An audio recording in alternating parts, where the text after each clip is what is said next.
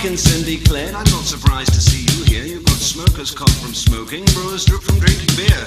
I don't know how you came to get the Bette Davis knees, but worst of all, young man, you've got industrial disease. He wrote me a prescription. He said, You are depressed.